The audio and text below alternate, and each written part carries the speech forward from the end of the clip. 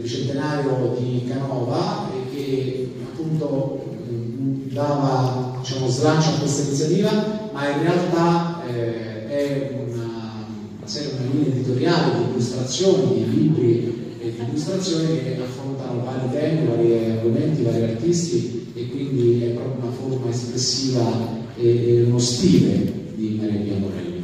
Devo dire che quando qualche anno fa è partito questo viaggio dal Museo Civico di Bassano del Grappa intitolato Leggi, Sogna, Viaggia, eh, non avrei mai pensato che eh, sarebbe diventato un viaggio tanto coinvolgente. E un viaggio che eh, però capace di avvicinare i destinatari del mio lavoro e quindi delle mie opere, sia artistico che letterario, che sono i bambini, i bambini, i genitori, le loro famiglie, alle istituzioni. Di epidemia in Spagna è la danzatrice Concellari di Canova, il cui modello originale utilizzato da Canova è al Museo Tadolini. Quindi eh, un'operazione, come gli esperti, cross mediale, un'operazione artistica che usa il linguaggio dell'illustrazione, il linguaggio nobile dell'illustrazione, è anche divulgativo, ma eh, arriva anche al, al digitale.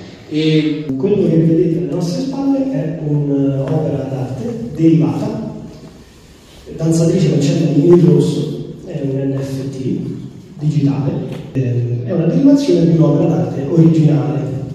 Okay. Quello che vedremo invece nell'altro, nel museo, è un secondo NFT che non è digitale, ma è digital. E che cos'è un NFT digital? Un certificato di autenticità digitale di un'opera fisica. In realtà eh, in questo caso abbiamo la dimostrazione dell'importanza dell'arte digitale e dell'NFT perché cioè, sia, sia, sia l'obiettivo della, um, della, certificazione digitale dell'originalità di un'opera, sia la creazione di un'opera unica digitale eh, che ovviamente può essere diciamo, uh, riconosciuta come tale e nella, nella loro interpretazione digital legata a un'opera, la certificazione di un'opera unica legata a un'opera eh, originale e reale. Questo giorno può dare vita ovviamente dei multipli, questo sempre certificati. Questo perché è importante? Perché è legato a Canova? Perché Canova, come sappiamo, era il primo, è stato il primo artista che in un certo senso, il primo artista pop